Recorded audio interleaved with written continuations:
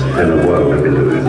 A person who thinks all the time has nothing to think about except thoughts.